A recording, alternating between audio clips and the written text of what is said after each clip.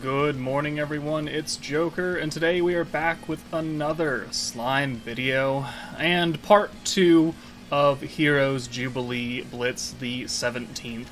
Uh, we are going to be tackling the boss battles today, and honestly, it's it's not bad, right? You can use one of two teams for a good score, one team for a really good score, and anything else for a score. So this is where I'm currently sitting. Uh, it is now 2:30 on Saturday, so a couple days into Jubilee. Um, my rankings are dropping as we talk and as I sleep, so um, I can push out maybe a little bit more on Boss 2 and Boss 3. EX, it's not really worth it. Like when you're doing EX and you're trying to, you know, get the best run, you're literally gambling for a hundred points. 200 points. So most of the benefit is going to come from, you know, boss 2, boss 3 where the schemes are a lot higher. Like yeah, Yuki's at 98,000 and I'm sitting down here at 78,000. So we have plenty of room to grow in score. But I have three teams. Space team is the medium team. Uh, the light team if you can run it, it's not great, but again, it'll get you a score. You can also use a team with Hakuro. Uh, but water is going to be your best bet because it ticks all the boxes for Dagruel. Because Dagruel, if you haven't paid attention or haven't attempted yet, uh, he does a number of things. One, he gives himself crit resistance, which, if you're using Hinata, you know, you got crit damage, and uh, Shion's going to give you, you know, the crit chance, but then you have that, right? So it's now 50% crit chance. Or, well, yeah, it's no, it's not 50%, but you're just going to do a lot less damage on your crit itself. Uh, so it's important that you have a unit that can seal crit resistance, like Hinata.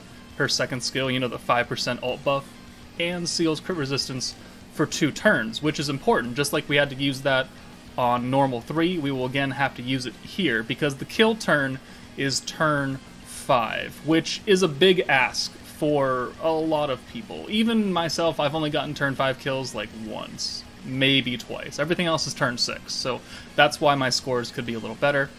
Um, but you can push to turn 7. The 7 is when he loses his crit resistance, so, you know, if you can't seal it for whatever reason or you're you're not ready to nuke, you can push turn 7. You will lose turn bonus, obviously but at least you can do maximum overkill damage. Uh, so that's the important thing. Turn 5, still resistance. Turn 6, still resistance. Turn 7, you're good to go. Um, also, another unit that can seal crit resistance is Fire Milim. So while if you decide to swap her out for Shion, you're going to lose that water attack, but you will guarantee to get crit because Milim's giving you crit, and also sealing is crit resistance, so your crit will do normal damage. Um, so those are the two. You can bring the hero, but you know you're lowering their crit resistance by 30%. He's doing 50, so you, you know math 20%. He's still going to have crit resistance, so you're still not going to hit as hard as you would want to. So Hinata and the Water team, the very best option for this Jubilee, which is good because Water is relatively new, very very powerful. A lot of people should have summoned for those units. There, that's a very very competent team, even outside of Jubilee. Um, he also nerfs oranges, so you can't really use Hakuro. Like, six turns of orange nerfs. Like, I said you could use Hakuro, but I don't really think you should use Hakuro. You might be able to use the new guy.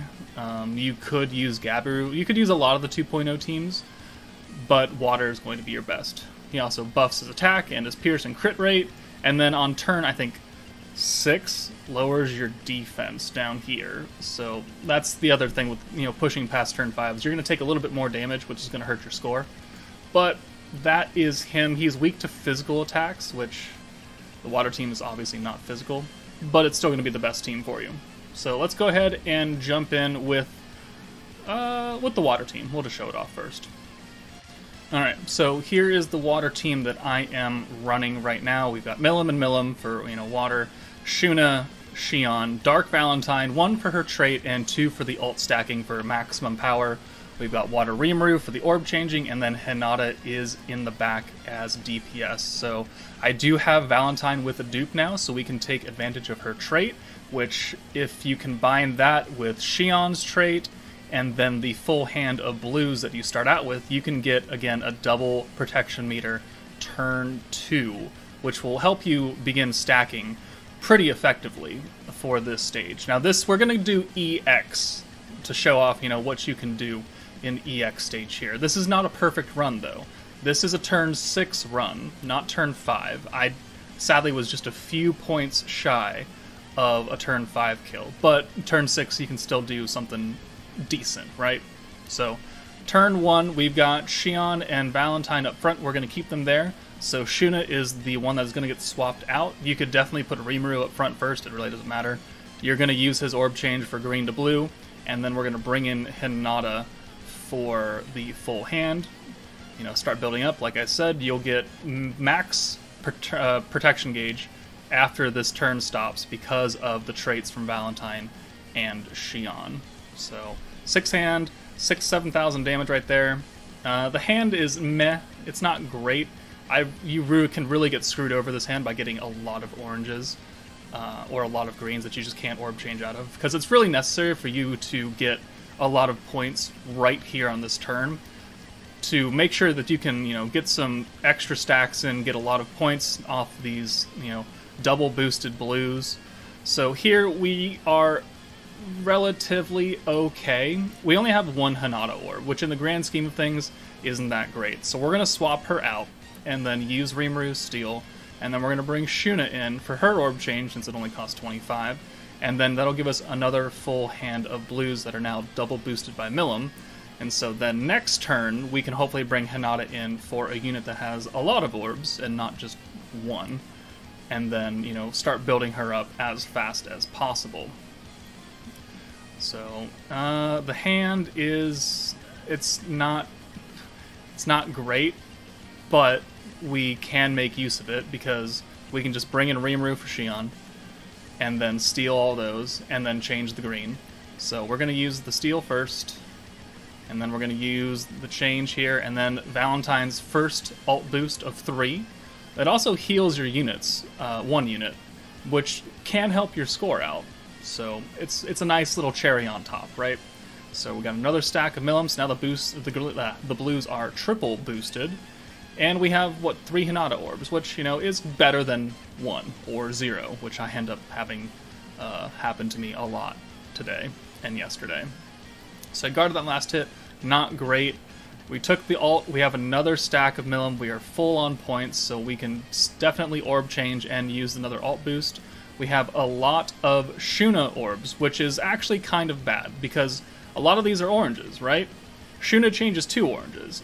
I would really love for her to change this Valentine, that way we can bring Rimuru and steal the rest of Shuna, which we have happen. So, thank the Lord, now we have another stack of full blues. We only have one Hinata orb, but we can get a full hand of blues with another orb steal. We've also used Valentine's second stack of alt, so we are two of three done right there. We're going to send Rimuru away, that we can keep him in the back for more good orb steals, potentially. This will get us max points and maximum protection gauge. We're on turn 4, going into turn 5. So if things worked out for you in a very good way, you could nuke here if you have everything necessary, which I unfortunately am just shy of. So I have 260 points. We still have to use the third stack of Valentine to get that boost. And then we would need to use the crit seal, the alt boost, the magic boost, the crit buff, and Hinata's buff, which is a little bit more than the 195 that we're left with, unfortunately, right? 165, 171, 80. We would need 205 points right now, and we're 10 shy. So, really, really unfortunate, but it's really important you get all that, especially the crit seal. Maybe I could have used the crit seal last turn, um, that way it would still be in effect, and maybe I could have gotten you know full points still from those blues. In hindsight, probably a better thing for me to do, but we're to go ahead and just do this. Now, here, what I should do is I should send everything, right? Because an unboosted Shion ult's not going to do that much damage in the grand scheme of things. So I should just send this, which I do. And she does a whole whopping, like, 10,000? 15,000. So maybe I should have held on to that when we were fully boosted, because he still has a lot of health left, right? a lot of health left. So maybe I should have held that. We probably could have fully boosted and sent the alt and then sent Hinata's alt this turn, and we would have been fine. But also, now we're ready to go. So turn six, we have enough to use literally everything across the board, literally every skill that we have available to us on the front line. Magic boost, crit seal, um, uh, Hinata buff, crit, alt buff, everything. Another stack of Milim, just for good measure. We're on turn six, so we're one past what we would like to see. And then I'm not entirely sure how much health he has here since I'm currently blocking the screen. Uh, it's still a decent amount. So now I've got to determine how many orbs I want to send, but without killing him outright. Hinata's going to do decent damage because she's, you know, fully, fully buffed by a bunch of Milim stacks and all the things available to her. 87% water just by stacking, it's really, really good. So I end up thinking going with like two Hinata and a Shion, right?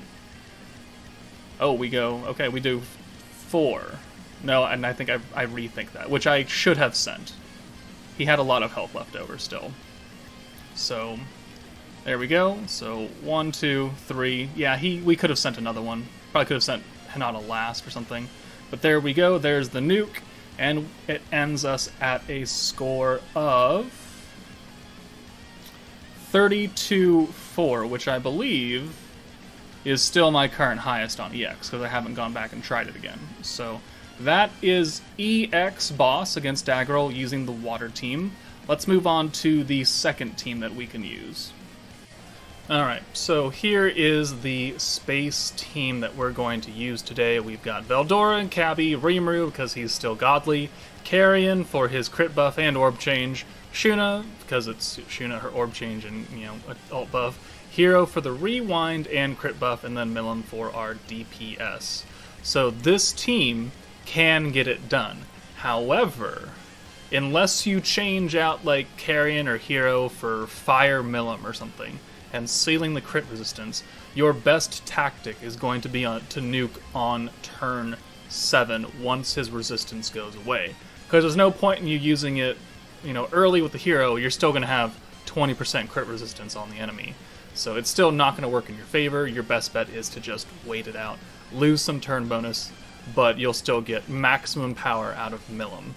Um, but you could swap Fire Milim out for the hero. I mean, sealing crit resistance uh, early is better than you know just lowering their crit resistance when they still have some left over. So you could definitely do that. You'd lose the rewind, but it would allow you to nuke earlier if you uh, have the setup. So that is an option for you.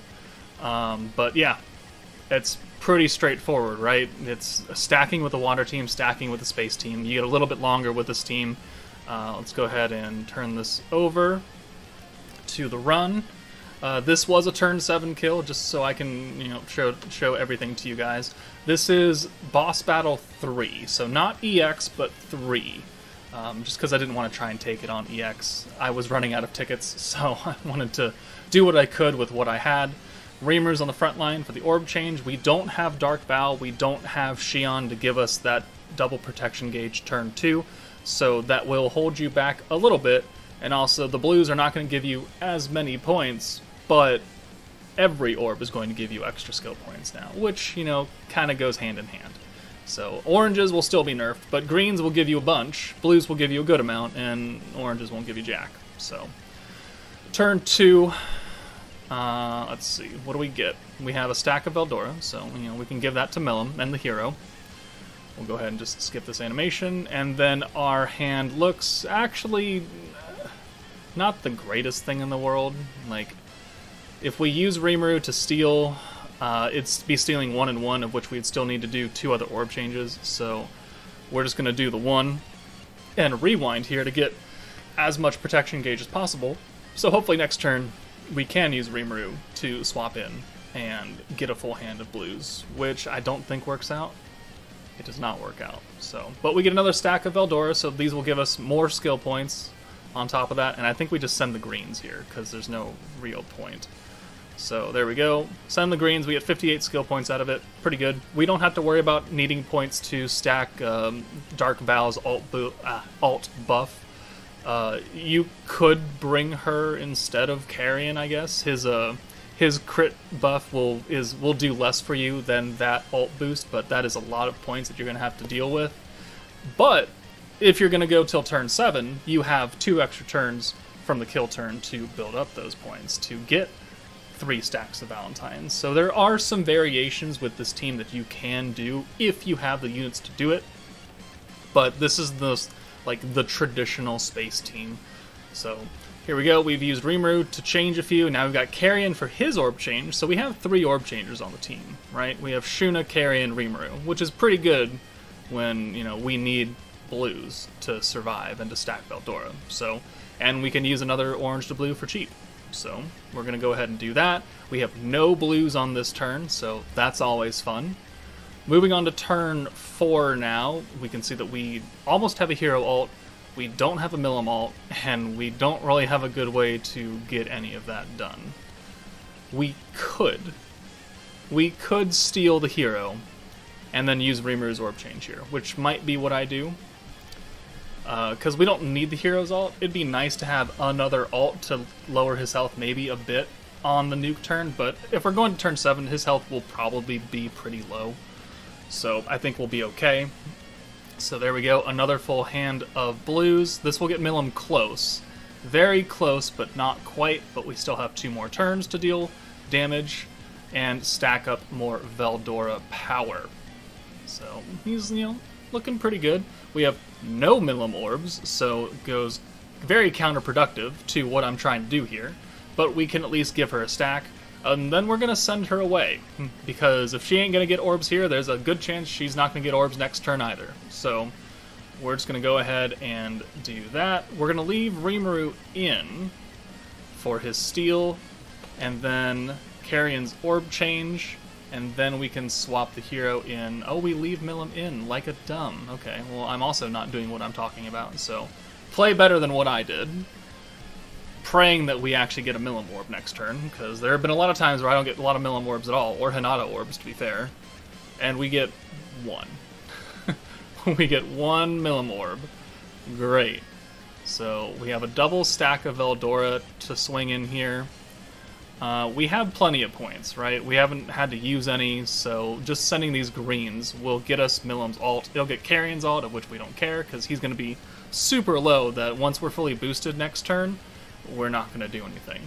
But now it's turn 7. You can see his crit resistance is flickering right now, so now when it switches over to turn 7, it now disappears, which means we are ready to nuke at full power, of which he has literally a nut tap of health left, so I cannot send anything else to get him any lower. So we're just going to fully boost crit, hero, space. Uh, Drago will bring Shuna in for her alt buff. And then we will go ahead and just send Milim and see how much damage we do. So blop and sending. There we go. And we do 184, so definitely not as much as uh, Hinata can do, and definitely, well, because, yeah, for a lot of factors. 63-2 is quite a bit lower than my current score for Boss 3, 73. So we're all like, like 10k above that. So the space team can work if you don't have a good water team, but just know that it will not get you the top score. So that's the second team. Let's show off this third team, which is really we're we're reaching right now. All right, so hold on. I told you we're reaching, alright? Bride Shizu, Shion, Fire Milim for that crit seal, Light Rimuru, Leon, and Misery. So this is like the I don't want to play Jubilee and I don't want to get sweaty. I have this team, let's get some points, and then I can go back to my day doing whatever else besides being a sweaty tryhard. So this team is, you know, one of the best burst teams in the game, and regardless of what the devs like to say, I like this team much more than Space 2.0 ever is. So, I think this can put out a fair amount of damage in a short amount of time. And Dagruel doesn't give himself any pierce resistance, it's only crit resistance. So our pierce skills are going to come in pretty handy against him.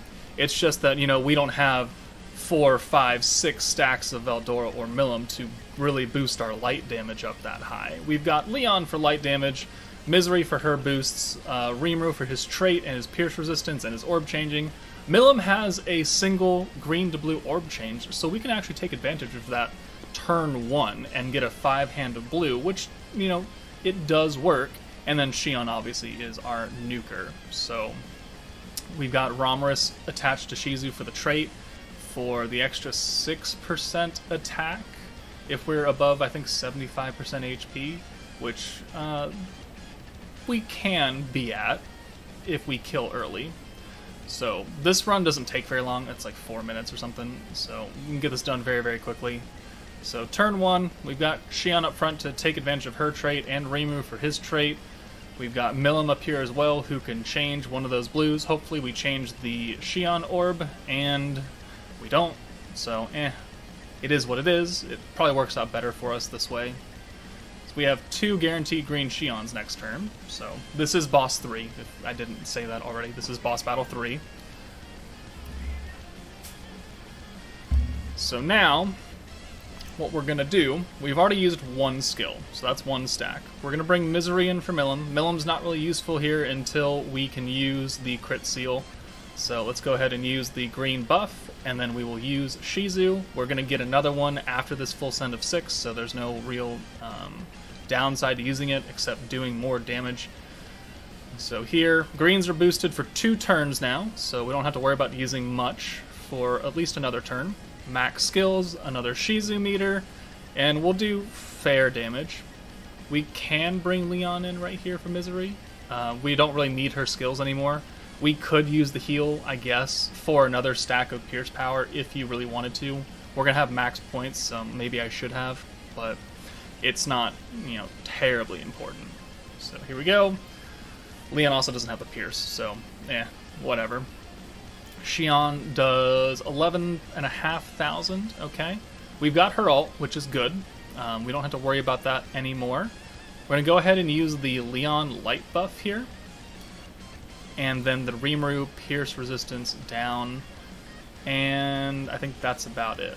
No, okay, I use everything here. So the greens are still technically boosted, right, from Misery, but I this is turn 3, so we need to use a bunch of skills right here, of which we do. We now have zero points.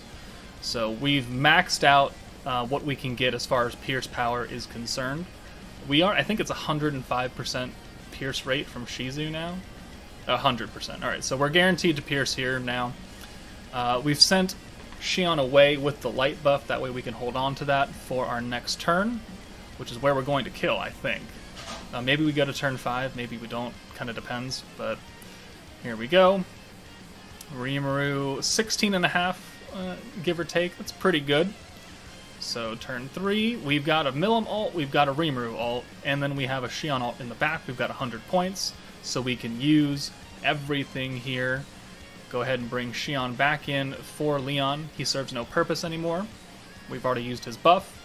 And now we can use the crit buff and the crit seal in the same skill on Dagruel, and then use Shion's power and we've already used the Pierce Resistance uh, skill from Rimuru, so we don't need to use that again.